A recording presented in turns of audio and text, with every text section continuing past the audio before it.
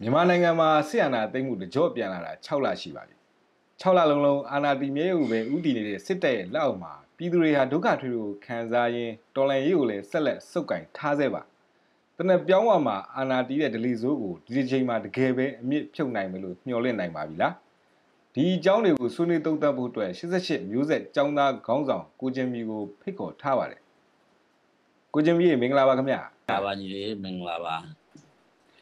အခုဆိုရင်အာနာသိန်းစစ်တပ်နဲ့စစ်အာဏာရှင်မြစ်ဖြုတ်ရေးပြည်သူ့လှုပ်ရှားမှုဒီနှစ်ခုပေါ့လေအတော်လေးအားပြိုင်နေတဲ့အခြေအနေရှိပါတယ်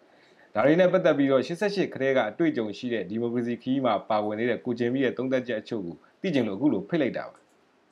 ပထမဆုံးမေးခွန်းကိုစပြရတယ်ခင်ဗျာအခုဆိုရင်အာနာသိန်းတာလည်း6လပြည့်ပြီပြည်သူ့စန့်ကျင်မှုတွေကလည်းအရှိန်တက်နေပြီဒီလိုအချိန်မှာစစ်ကောင်းဆောင်ကဒီမိုကရေစီတက်အာမခံတယ်ဖက်ဒရယ်တက်အာမခံတယ်ရွေးကောက်ပွဲပြန်လုပ်မယ်လို့ပြောသွားပါတယ် ဒါတကယ်ရောယုံကြည်တိုက်ပါရဲ့လားအစောကြီးကယုံကြည်ကြအကြောင်းမရှိတဲ့အတွက်ပြည်သူလူထုတရက်လုံးကလည်းတန်းနဲ့ချီပြီးတော့ဆန္ဒပြပွဲတွေဖြစ်ပြီးအခုနောက်ဆုံးအချိန်မှာအဲ့ဒါဟိုဟို CRPH တို့ NUG တို့လိုဟလာပြည်သူထောက်ကန်တဲ့အစိုးရရတော့ပေါ်နေပြီနော်အဲ့တော့ပြောမှမယ်ဆိုလို့ရှိရင်တော့စတင်တဲ့ဟိုယုံကြည်စရာမရှိခဲ့ဘူးပြည်သူတရက်လုံးကမယုံခဲ့ဘူးနော်နောက်အခုပြောနေတဲ့ဟာတွေကလည်းဟိုအခုမှပြောတာမဟုတ်အရင်ကလည်းဒီလိုပဲပြောနေကြတာပဲ ပွင့်လင်းပြောတော့ကျွန်တော်တို့အလိန်ခံပုံလည်းများနေပေါ့ဗျာများနေဖြစ်တဲ့အတွက်ပါတော့ဟိုမီဒီယာဖြစ်ကြီးဖြစ်သွားပြီအဲဟို information age ဖြစ်သွားပြီအဲ့ဒီခေတ်မှာသူကဟို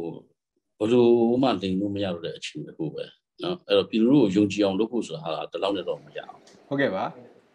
ဒုတိယမိကုံးကိုတော့ဆေးရနာရှင်စနစ်အမြင့်ဖြုတ်ဖို့ရည်ရွယ်ထားတဲ့အင်အားစုတွေနဲ့ပတ်သက်ပြီးတော့မေးချင်ပါတယ် ဒီကုန်လွန်ခဲ့တဲ့6လတာအတွင်းမှာတော်လိုင်းအောင်မြင်ဖို့အတွက်ဘယ်လောက်ထိရှေးရှုထားနိုင်ပြီဘယ်လောက်ထိဆက်လက်စူးစီးထားနိုင်မယ်လို့ထင်လဲခင်ဗျာကျွန်တော်ရဲ့အတွေ့အကြုံကပြောမယ်ဆိုရင်တော့ဒီတစ်ခေါက်ဒီဟောပေါ်ဒီမိုကရေစီအင်အားစုတွေရဲ့ဟောလှုပ်ရှားမှုဟာ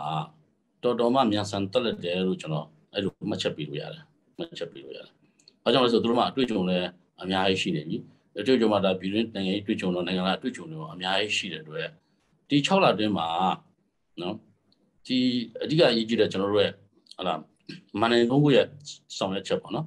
ပထမမန်နေကကျွန်တော်တို့ရဲ့ဒါပြည်သူရဲ့ mandate ကိုရထားတဲ့ရွေးချယ်ခံကိုယ်စားလှယ်များစုဖွဲ့ထားတဲ့ CRPH ပေါ့နော် CRPH ရဲ့လှုပ်ရှားမှုနောက်တစ်ခုတော့ CDM နော် CDM ရဲ့ဟလာလှုပ်ရှားမှုပေါ့နောက်တစ်ခုကတော့ကျွန်တော်တို့ peaceful demonstration ပေါ့ဟလာဆန္ဒပြခေါင်းဆောင်တွေလှုပ်ရှားမှုပေါ့နော်အဲ့ဒီသူတို့လှုပ်ရှားမှုတုံးကဟို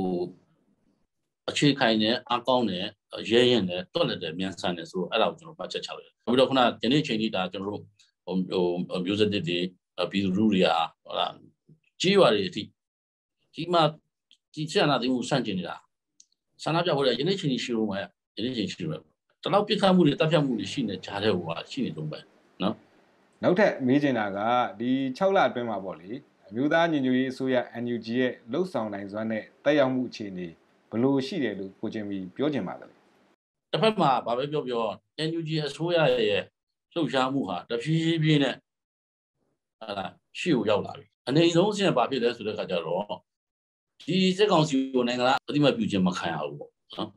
အဲ့ဒါအနေဆုံးအဆင့်ကဘာကြီးရဲ့အဖြစ်ပဲခံရတာပဲဒါပေါ်တဲ့ကိစ္စမဟုတ်ဘူးဟုတ်ကဲ့အခုထပ်သိခြင်းတဲ့အကြောင်းအရာကတော့ဒီလက်နက်ကင်တော်လိုင်းနဲ့သက်ဆိုင်ပါတယ်88တုန်းကလည်းဒီနီလန်းတွေတုံးခဲ့ဘူးတယ် မောင်မြင်ဘူးလို့ပြောနိုင်တဲ့အခြေအနေလေးရှိခဲ့ပါတယ်ဘာကြောင့်ဒီချိန်မှာဒီနီလန်းကိုထပ်ပြီးအပြုတ်ရွေးချယ်ရတာလဲပေါ့နော်ဒီအကြောင်းရင်းကဘာများဖြစ်မယ်လို့ကိုကျင်ပြီးပြောနိုင်တယ်ခင်ဗျကျွန်တော်ဒီလက်နက်ကင်ဒေါ်လာရင်းနဲ့ပတ်သက်ပြီးတော့ဟိုကျွန်တော်တို့ပြည်သူတွေကျွန်တော်တို့ကိုယ်တိုင်သိပြီနော်ကျွန်တော်တို့အမှန်တမ်းပြောလို့ရှိရင်တော့ဟို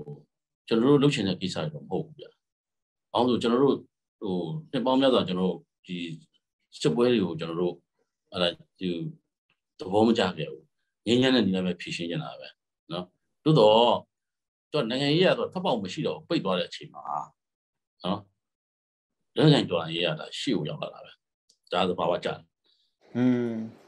ကိုချင်းပြီးပြောပြတာရှင်းပြတာကောင်းပါတယ်ဒါပေမဲ့ထက်တော်မေးခြင်းတယ်အခုဟာကလက်နက်ကန်နီလန်သုံးဖို့အချိန်ခါတင့်ပြီလို့ယူဆလာခင်ဗျာ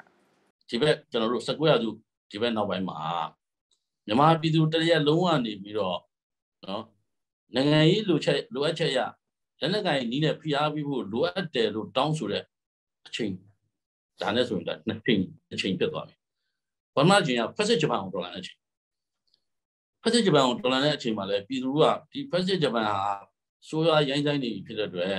လက်နက်ကင်ဒေါ်လာမှပဲဖြစ်လိမ့်မယ်ဆိုတာကိုတနိုင်ငံလုံးကပြည်သူတွေကနေပြီးတော့အဲ့လိုဆုံးဖြတ်ချပြီးတော့လက်နက်ကင်ဒေါ်လာရေးထဲမှာလည်းရရတဲ့နဲ့ဆိုပြီးပေါင်ခဲ့ကြတာ။နောက်အခုတစ်ချိန် ဒါမမားဘူးဗျ။နော်မမားဘူးလိုအပ်ချက်ရ။ဘာလို့ဆိုတစ်ဖက်ကရက်ဆက်ကြမ်းကြမ်းလာပြီနိုင်ငံရေးကထွက်ပေါက်ပိတ်သွားပြီနော်ဆိုလို့ရှိရင်ကိုကိုကိုခုခံကာဝယ်ရမယ့်အခြေအနေဖြစ်သွားပြီလေ။ကိုကိုခုခံရမယ့်အခြေအနေပဲ။အဲ့တော့ကိုကိုကိုခုခံကာဝယ်ဖို့အတွက်ဒါလက်နက်ကိုကန်ရတာဖြစ်လို့နိုင်ငံရေးကလိုအပ်ချက်ရဖိအားပေးဖို့အတွက်ဒါနော် NG အစိုးရလည်းဒါပြင်ဆင်ရတာမယ်ဟုတ်ကဲ့ဒီလက်နက်ကင်တော်လိုင်းနီလန်းပေါ့လေပြည်သူတွေပူပေါင်းပါဝင်မှုအခြေအနေဘယ်လိုရှိမယ်လို့ညွှန်မှန်းထားလဲခင်ဗျ ပြည်သူတို့တယောက်ချင်းစီကသူတို့ကိုယ်တိုင် PDF တွေစိတ်ထဲမှာဖြစ်နေနော်အခုသူတို့ဒီ PDF တက်မတော်ဒီဒီကျွန်တော်တို့ပြည်သူ့ကာဝေးတက်မတော်တက်သားစိတ်ထဲမှာဟိုကသူတို့ကသူတို့စိတ်ထဲမှာအိမ်နေနေဟိုကသူတို့သူတို့စိတ်ထဲမှာ PDF PDF ကြီးဖြစ်နေပြီဒါလည်းဟိုကျွန်တော်တို့ဒီဂျပန်ခေတ်မှာလည်းအဲ့လိုပဲဖြစ်ခဲ့တာပဲနော်ကျွန်တော်တို့ဒီဒေါ်လာရေးပျောက်ကြားတွေစိတ်ထဲမှာဖြစ်နေတာဖြစ်နေပြီးတော့ငါလက်ထက်ကိုဘာရလို့ရှိရင်ငါဘာလုပ်လိုက်မယ်ဆိုတော့အဲ့အတွေးတွေပြည်သူတယောက်ချင်းစီမှာဖြစ်နေပြီ ဒီကြာနာရှင်စနစ်ကြီးကနောက်ဘယ်တော့မှမရှိစေချင်တော့ဘူးနော်နောက်လာနောက်သားတွေလည်းမခံစားစေချင်တော့ဘူးဒါကြီးကခဏခဏတန်တရားလေးလို့ရှိရင်ပြီးမှလည်းမို့တော့အဲ့တော့ဒီကမှာအမြင့်ဖြတ်ဖို့အတွက်လိုတယ်လိုတဲ့အမြင့်ဖြတ်တိုက်ရမယ်အဲ့တိုက်ဖို့အတွက်ငါဘယ်ဟာဘယ်နေရာပါပါပါမယ်အဲ့တော့အဲ့ပါမယ်အချိန်ကိုစောင့်နေတာပဲလို့ကျွန်တော်တို့အဲ့လိုအကိုချင်းကြီးခုနအရေးကြီးတဲ့အကြောင်းအရာမို့လို့ကျွန်တော်ထက်ခါထက်ခါမေးရတာပေါ့နော်စိတ်မရှိပါနဲ့ဆိုဒီတစ်ခုကတော့နောက်ဆုံးမေးခွန်းပါဆိုတော့အခုပြောနေကြတယ်ဒီ2021 ခုနှစ်ဆရာနာသိမ်းမှုကပေါ့နော်တိုင်းပြည်အတွက်နောက်ဆုံးအချိန်ဖြစ်လိမ့်မယ်ဒီတစ်ချိန်လူမှုစန့်ကျင်တော်လှန်မှုကနေပြီးတော့ဆရာနာရှင်စနစ်ကိုလုံးဝအမြင့်ဖြုတ်နိုင်လိမ့်မယ်ဆိုတဲ့မျှော်လင့်ချက်တွေလည်းအားကောင်းနေတာတွေ့ရပါတယ်ကိုချင်းကြီးရဲ့အတွေ့အကြုံနဲ့ဆိုလို့ရှိရင်အဲ့ဒီလိုယုံကြည်ထိုက်တဲ့အကြောင်းတွေရှိနေပြီလားဘလို့များသုံးသက်ချင်ပါလဲခင်ဗျာကျွန်တော်ယုံကြည်တယ်။ဘာလို့လဲဆိုတော့ကျွန်တော်ဒီဟိုပေါ့အခုကျွန်တော်တို့ဖြတ်တန်းခဲ့ရတဲ့လား1960ကနေပြီးတော့ဒီ2021စီခရီးပေါ့။အဲ့ကျွန်တော်တို့က အာနာရှင်စနစ်ကိုနိုင်ဖို့ဆိုလို့ရှိရင်လားကျွန်တော်တို့ဒီတိုင်းလာပြည်သူတက်လုံးပြည်သူတက်လုံးကတော့ညီညွတ်မှု၃ပါးအဲ့ညီညွတ်၃ပါးကိုတိဆောက်။ဒါကကျွန်တော်တို့အတွေးခေါ်ရညီညွတ်မှုဒုတိယကဖွဲ့စည်းညီညွတ်မှုတတိယကလုပ်ငန်းညီညွတ်မှုအဲ့ဒီညီညွတ်မှု၃ခုကိုတိဆောက်ရတယ်အဲ့တော့ကျွန်တော်တို့ကအတွေးခေါ်ညီညွတ်မှုကိုဘယ်တော့မှစရလဲဆို1988ဒီမိုကရေစီရေးတော်ဘူးကြမှာကျွန်တော်ကအတွေးခေါ်ညီညွတ်မှုကိုကျွန်တော်တို့အကုန်လုံးရစရတယ်အတွေးခေါ်ညီညွတ်မှုဒါပေမဲ့ ကျွန်တော်တို့ဖွဲ့စည်းညီညွတ်မှုနဲ့လုပ်ငန်းညီညွတ်မှုအဲ့မှာအားနည်းချက်ရှိနေတယ်နော်နောက်21ဒီ2021ကျွန်တော်တို့လူဦးဒေါ်လာကိုအကြောင်းပြုပြီးတော့ဖြစ်ပေါ်လာတဲ့ဒီဒေါ်လာရေးမှာကျတော့အတွေးခေါ်ရရောအဖွဲ့အစည်းရရောလုပ်ငန်းရပါညီညွတ်မှုရှိတဲ့အမြင့်ဆုံးအခြေအနေကိုရောက်အားကောင်းဆုံးအခြေအနေပဲအဲ့တော့ဒါပြည်သူတို့ဘက်ကအရှိန်ရသွားပြီဆိုတဲ့ဥစ္စာကိုကျွန်တော်ပြောချင်တယ်ကျွန်တော်ယုံကြည်ပါတယ်နော်ညညမှုသုံးပါးကိုဆွဲကင်ထားမယ်ဆိုလို့ရှိရင်ညညမှုသုံးပါးကိုအခိုင်အမာဆွဲကင်ထားမယ်ဆိုကျွန်တော်တို့ ဒီတော်လိုင်းရေးရမုတ်ချအောင်မြင်မယ်လို့ကျွန်တော်ယုံကြည်ပါတယ်အရေးတော့မုတ်ချနဲ့မြန်မြန်အောင်ရမယ်ဟုတ်ကဲ့မိကုန်းလေးကိုအခုလိုစိတ်ရှိလက်ရှိဖြည့်ချပေးတဲ့ကိုချင်းမီကိုမြန်မာနောင်ကကျေးဇူးတင်ပါတယ်ကျွန်တော်ညံလိုင်းလေးမှာ